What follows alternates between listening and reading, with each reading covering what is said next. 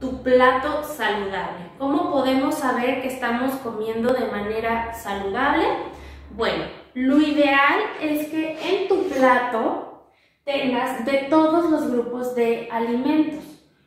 Ahorita te voy a enseñar cómo hacerlo y de hecho vamos a hacer una tareita al respecto para que tú aprendas a hacer tu propio plato saludable.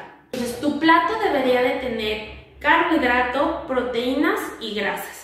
Acuérdate que los carbohidratos, pues hay diferentes grupos de alimentos que nos aportan carbohidratos y de proteína, pues también hay varios grupos de alimentos que te aportan proteína, al igual que la grasa. Entonces ahorita te voy a enseñar cómo puedes hacer tu plato saludable.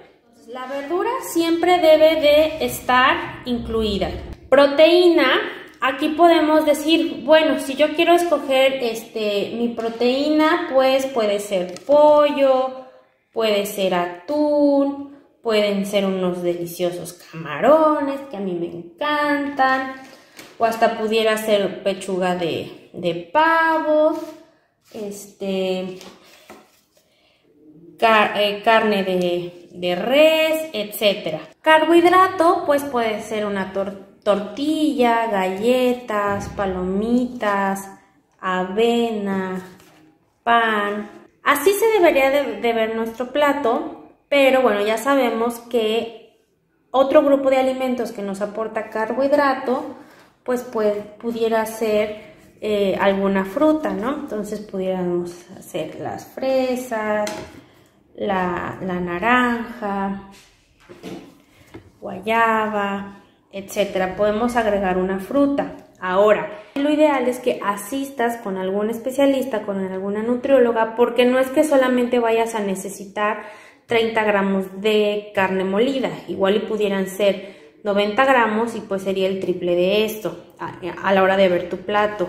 O en lugar de dos rebanadas de, pan, pudieran ser cuatro rebanadas de pan. O eh, pudieran ser dos rebanadas de pan y agregar otro carbohidrato que sería la, fruta, ¿sale? Y de grasa, pues pudiera ser el aderezo, el, el aceite o el aguacate, que es la mejor grasa que podemos encontrar. Algo importante que debemos de mencionar es que las leguminosas, como les comentaba, nos aportan proteína y carbohidrato. Entonces es un alimento pues bastante completo y podemos este, nosotros obtener una proteína, el valor biológico que nos da una proteína si combinamos una leguminosa con algún cereal. En, unos taquitos de frijoles estamos combinando el cereal, que es la tortilla, y la leguminosa, que serían los frijoles, y pues también es una buena opción y bastante económico.